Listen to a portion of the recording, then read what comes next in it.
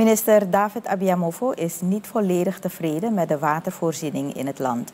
Tijdens een toespraak in de Nationale Assemblée gisteren erkende hij dat er nog veel werk verricht moet worden om de landelijke drinkwatervoorziening op peil te brengen.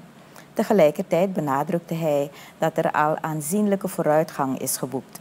De minister onderstreepte ook dat zijn ministerie jaarlijks pleit voor extra middelen om de watervoorziening verder te verbeteren. We zijn niet tevreden, ja, maar we moeten wel eerlijk zijn, eerlijk toegeven dat uh, talrijke gebieden, voorzitter, uh, zijn voorzien van schoon drinkwater. Uh, van, van Heenar in, in Nikeri tot, tot Witagrong in het Kappenamengebied, uh, Cornelis Kondre ook, Kuruni. Twee weken geleden nog, helemaal in Zuid-Suriname, maar ook uh, Kasipora, Pikinsaron. Uh, Godo Solang, Pusugrunu, Mungo Tapu, Wangati Ajuma Kondre, Gunsi, jou jou, voorzitter. Laat me stoppen.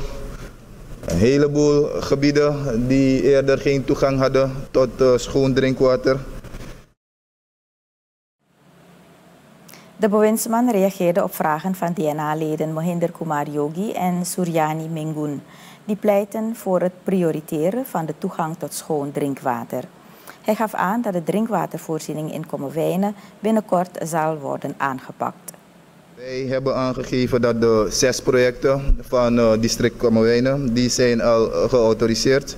En uh, binnenkort, voorzitter, volgt de officiële start uh, van het ontsluiten van deze gebieden, deze delen van, uh, van district Kommerwijnen. Uh, lid Yogi, lid Mingun, bedankt voor de ondersteuning. De bewindsman gaf aan dat zijn ministerie in samenwerking met SWM gemotiveerd is om het werk landelijk voort te zetten.